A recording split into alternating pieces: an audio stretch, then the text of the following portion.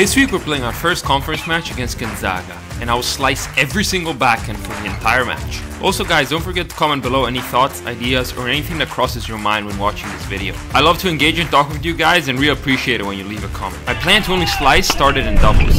I was playing with a new partner today, Tyler Davis, who from the camera looks just like me. There's a slice line coming in handy here, and Tyler tries to put away this volley, but he's there and throws up a lob, but it ends up out. When all here, my partner had a really good serve, even second serve, and as you can see, it's pretty easy for me to cross and go and take that volley. We hold and we're up 2-1 now, and this is a fun rally, a bit of Wii tennis volley to volley as you can see here. The match goes on pretty regularly, all hold for hold. His return hits a net trap, so I don't get the volley, but the rally goes on. I try to make a move here, but he dips it right at my feet, and I miss. 15-30 here, and a great serve tee by Tyler, but a really good return by them, and we're in a bit of trouble. Triple break point. The priority now was obviously trying to break back, and we needed this point to get into this game. The priority now was obviously trying to break back, and we needed this point to get back into this game. Big winner here. At 30 all, however, the match gets abandoned, and we already reached the doubles point on the other courts. In singles, I was playing for my first time ever at the number one position, so very happy about that. A little bit nervous maybe, especially since I was going to slice every single backhand today and not hit a single two-hander, but it is what it is. I was playing Sasha Chukulia, sorry if I butchered the name, UTR 12.77 and ranked 1609 ATP. My race had really suffered and got worse the past weeks, so you know I was trying to save myself for some tougher matches, and in case this team match got close, then I was gonna start playing two-handers. If I was going to serve like this though, I was gonna be alright. My opponent was definitely more an indoor type of player. He liked to come to the net a lot, throw in some serve and volley, and I knew for a fact he didn't like these low courts. I knew he was going to alternate trapping me into my backhand corner and moving me around, so I had to try to dominate myself. 40-30 here, and you don't want to get to deuce in these college matches because it can get really tricky playing these pressure points. As you can see, I'm just slicing and trying to keep him on the backhand side. This one is short, so he uses the chance to come to the net, and I do just enough to take home the game. 15-30 here this next game, and I'm getting more in the match. More aggressive and finding good depth with my forehand. Great point to earn break points. He takes home the 15-40 point, but I still have a good break point here, second serve. Good deep return on the slice, and I think these points where he has to win at all costs, he just traps me on the back inside, and yeah, I end up missing badly here. One more chance on deuce point though, as he gets a good first serve, but after I make the return, he tries to dictate inside out and misses by a very small margin. Being a breakup when you can't play backhands really gives you quite some breathing room, and makes you play freer. As you can see, I hit an insane slice here. I'm 40 love, a good kick serve wide and he misses the return. I was getting more comfortable as the match went on, and if I was him, I would just honestly focus on not making me hit a single forehand. But I guess he wanted to keep me on my toes. 30 all, I could potentially snatch another break point here. A good forehand return to push him out, in which he can just about defend. I dropped her to his backhand and then wait on that corner, so that I could get a forehand on the next ball. Deuce one here, and obviously it goes to my backhand. My return is a little high, and he can close the volley with ease. Deuce point, and this time I try to surprise him going line with the slice return, but he's able to put it again on my backhand. And I try to get this just over the net, but not enough power. Honestly, if I was him, that's all I do. Just kick to the backhand and come forwards. You'll probably win many more points. Anyway, I'm 15-30 down this next game, and my slice is a little bit short, so he comes in. But he made one mistake. He approached to my forehand. 30 all, on my second serve he goes for the aggressive return line, which just floats wide. I end up holding that game to go up 4-2, and when I had a 4 in this match, I really wanted to waste no time to do damage. And I even hit a backhand slice winner here.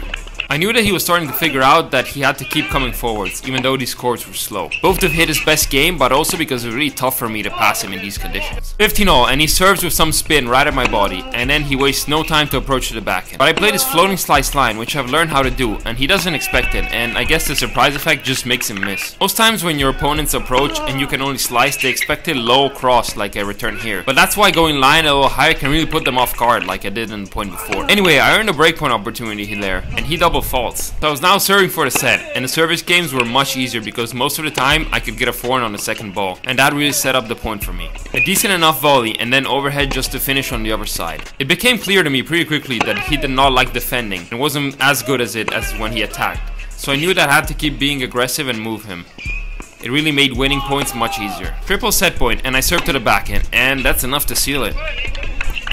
The start of the second sets, you always need to be careful, no matter what the score is or who you're playing. Because if you start poorly, it can get real tough to come back in that set. I hit hard at the body in the first passing shot and then shanked the second one. 30-15, and here honestly I hit one of the best shots I ever hit in a match. Oh man! Wow! I don't know how I even made that, but honestly, how can you not be pumped after a point like this? It was very predictable that now at this point I was gonna be at 200% and that my spirit was like through the roof.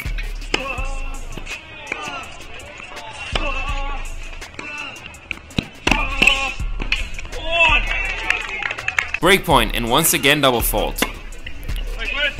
Serving a breakup was definitely a great feeling, but I knew he wasn't gonna just sit and watch the rest of the match. I try my down the line slice pass again, but I just miss it wide. Love 15.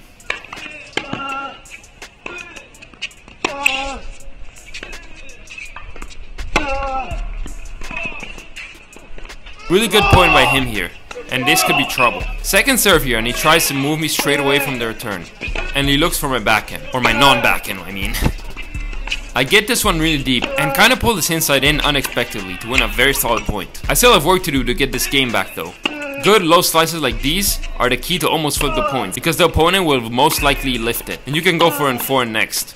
Another one of these and then I decide to approach on the forehand side. He hits a good pass but I'm very close to the net and hit this volley winner. 40-30 and it would be really good confidence to win this game from Loth 30 for the confidence and also I knew it would be tough for him to endure.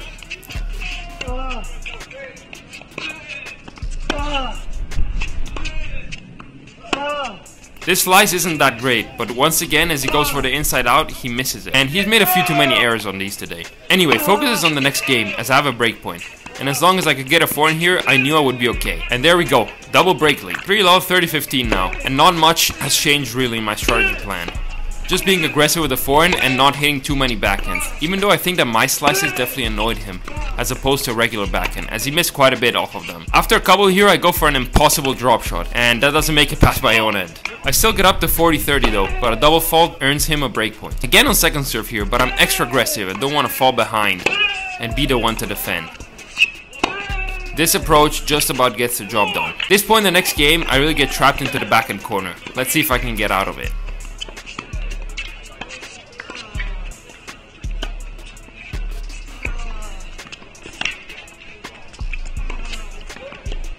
Yeah, as I said, I don't think he was too comfortable for my slice to be honest.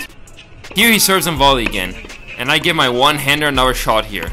And I guess I can make one but not two, that appears to be my limit. He gets up 40-30 and aces me T on a second serve to win his first game this set. His backhand return was better in general, so I don't know why I kept serving there. As you can see, I'm forced to save the day with this dead slice. And then I was getting in the hang of it, so I was like, you know what, let me give my one-hander another shot here.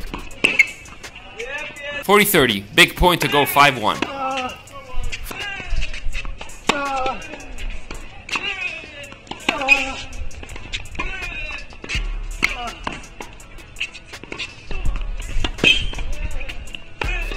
Five one it is then, and even though the match score is not updating, we're up 3-0 at this point. So I would be the clincher if I take this home right now. I hit this big inside in four in here, and then I'm left with this bit awkward ball for someone who can only slice, but I do make the best of it eventually. He gets up to 40-15 with a good serve though, and after this hit down the line, follows it, as he knows I can only kind of just make that. I read this cross-court half volley, and put out the one-hander once again, and then pass him with the forehand. Maybe should just switch to a one-hander at this point, let me know in the comments. Anyway, another game point that starts with a slice return and serve and volley, followed by another one-hander right at him, and then a pretty good lob for my standards. And he does get to it, but he just puts a little bit too much power there and it goes out. Deuce point here, really good serve to my backhand, but I survive. And then follow with another slice cross to push him back. I approach inside out, but I miss it long as he makes it 5-2. Not a big issue though, as I'm serving for the match. And I'll let you watch this point, as it's probably the longest one in this entire match.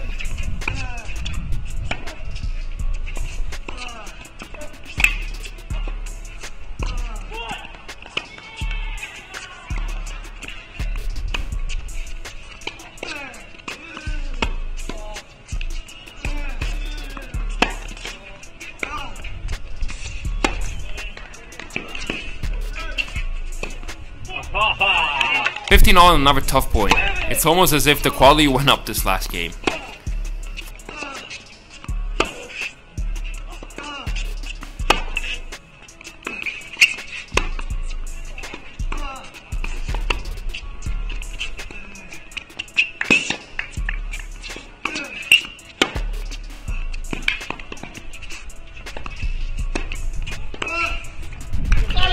Forty fifteen triple match point.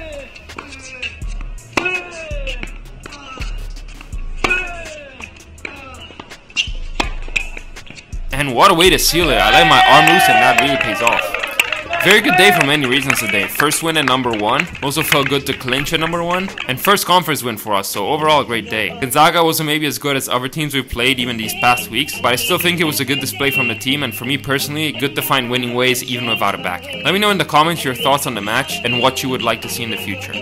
Stay tuned for more videos.